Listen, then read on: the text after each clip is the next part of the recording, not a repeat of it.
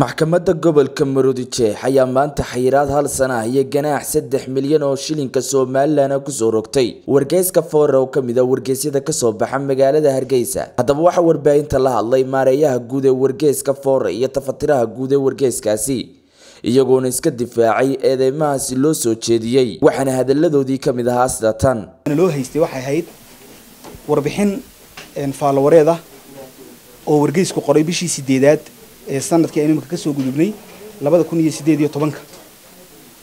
Warbixintaasi ama faalawareedaasi wargeysku qoray anigaa gacanteeda ku qoray ahna tifaftirihii wargeyska faalawareedaasi waxay ahayd ay ku saabsanayd.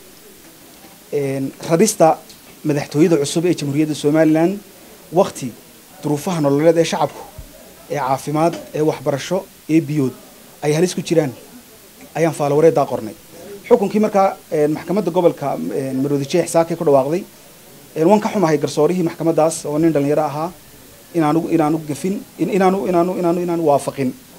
Waan ka xumahay inaanu waafaqin inuu seegay cadaaladii uu garab maray. Xukun aargoosi ah oo dawladdu dabada ka wadayna inuu ahaa. Waxaa la yaab leh guddoomiyaha maxkamaddu markuu go'aankaa ku dhawaaqay wuxuu sheegay inuu ganaax lacageed aniga laygu soo roga anigoo tiftiraha wargeyska madaxa banaan wargeyska foore maxamed maxamed yuusuf maxamed gacase waa ganax lacageed oo saddex milyana sidoo kalena waxay idhahdeen waxaanu xayirnay muddo hal sano ah wargeyskii hal sano oo maanta ka bilaabmaysa labiyo toban bilood. Arrimaha la yaab kale waxa weeyaan waxa eedaa iyaduna raacsanido ku jirtay.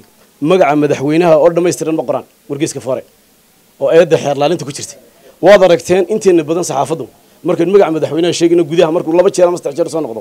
Deduction baa la dhahaa maxaynu samaynaa madaxweyne biixi markaa dacwadda xeerlaalinta inagu ogtay waxaa ka mid ahaa in wargeyska foore uu magacii madaxweynaha uu ka tago oo uu ka dhigo biixi kale la yaab kale waxa weeyaan eedda ay xeerlaalintu annaga nagu eedeynaysay kumaba ay jirinba in wargeyska la xayiro meel ay ka timid xayiraadda nisaaka maba garananaba waa arrin nagu cusub runtii. Waana ka xunahay nin xoriyata qolkii halkaa uu ka dambeeyey wargeyska foore akhristayaasheedii ayaa og runtii. Bulshada kaalintaanu kaga jirno waxaan u aragnaa imika annagu in si gaara lanoo taargadgareeyey oo culays gaara maxkamadda la saaray. Culayskii gaarka ee maxkamadda la saarayna uu dhalay in sanad xayraad lana saaro. Xayraaddaa ma qaadanayno waanu ka soo horjeednaa waan mana ogolin runtii. Waa lana saaro way nagu dhacday waa lana xayiray warqadaas way soo baxday cadaalad daraan u aragnaa geesta kalena waxaa halkaasi ka hadlay guddoomiyaha ururka suxufiyiinta somalilan ee soolja maxamuud cabdi jaamac xuuto isagoona sheegay inay tahay mid laga xumaado xayiraadaasi lagu soo rogay wargeeska foore. Waxaana hadaladiisii ka mid ahaa sida tan. Maalmahanba waxaa socotay dacwad ka dhan ah wargeyska foore ee ka soo baxa caasimadda somalilan ee hargeysa.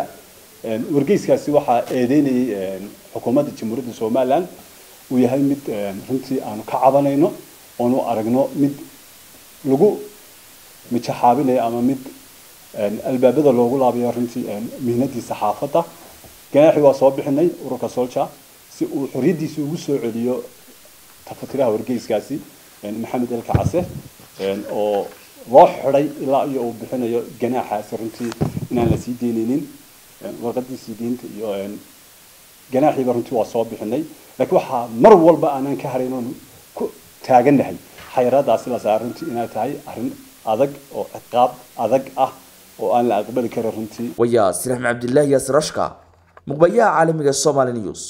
Gudaha caasimadda hargeysa